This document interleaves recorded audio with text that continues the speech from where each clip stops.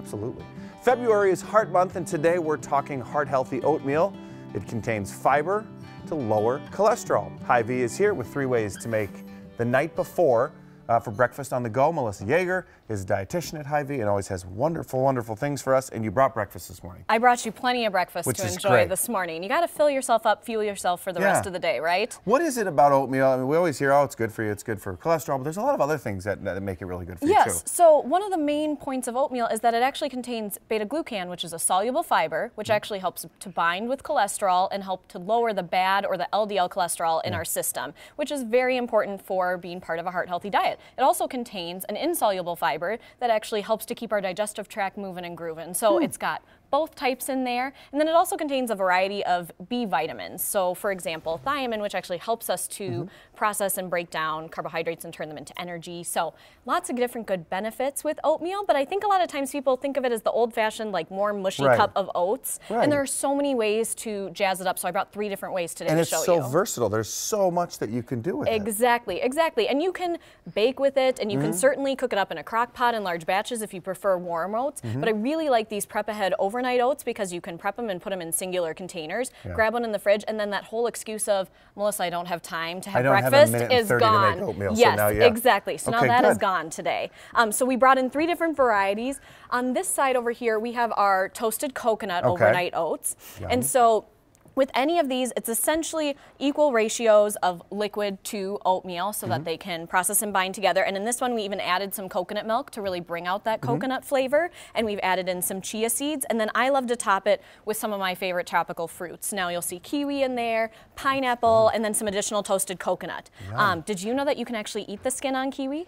I did not know that. So the You skin can? of the kiwi is Is completely edible you? and it's actually higher in fiber. So it's a Well, really nice go. way to amplify the fiber See? content. The more you know. The more you know, Isn't right, for nice? Heart Health Month. And so, with that being said, I know you might not necessarily want to bite right into it because of the fuzzy texture, Hmm. but if you prefer, I like to really thinly slice it, leaving the skin on, and then that way you just get a little bit of texture with it. Otherwise, it. if you're a smoothie guy, just throw it in your smoothie and blend it up. Um, then on this side over here, we have the lemon blueberry cheesecake overnight oats. Which smells amazing. It does smell amazing. Yeah. The lemon zest is key in that one. Um, and again, adding in different types of fiber and omega-3 fatty acids with chia seeds or flaxseed meal to any of these can really amplify the protein and fiber content. In the center is what we're actually going to make today. Let's so we are doing the chocolate peanut butter, Okay. which I think will be a favorite for everybody. So you start by actually mashing up half of a banana. Mm-hmm.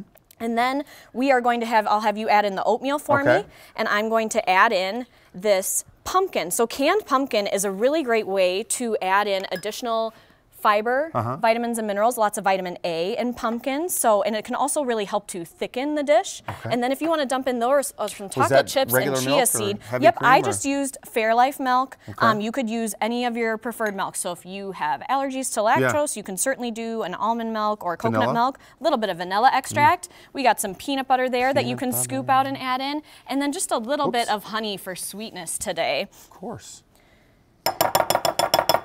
Hang on, there we go. There you so go. So then, what is the? It's overnight, obviously, but what is the Yes. time that it needs to sit? I would say for sure as a couple as- hours, but overnight should be just completely hmm. fine. And then if you wanted to stir that all together, you can mix it up. And then With I'm what? to toss in this. stir with the spoon? Yes. 'Kay. This cocoa powder. And then it so it sits overnight, and then how long is it? Just regular? You put it in the microwave and zap it. No, you can eat it cold. You can eat it cold. You can eat it cold on the go. If you prefer warm oats, you're more than welcome to heat it up. Okay. But I actually prefer to eat it cold. It's easy to grab and go with that way, and then you're not having to add in any additional time in the morning. And then at least several hours in the fridge, if not overnight, allows the oats to absorb the liquid, thicken up, and then that way you have your breakfast on the go. Perfect. Thank you so much. Thank you for I'm having gonna me try back some out. Of this. Really Enjoy. thick. Of course, we do have the link. If you'd like it, you can um, text the word recipes to 763 797 7215. And a reminder this is a text only number. Don't call in, just text. You'll get the recipe. We'll be right back. This is really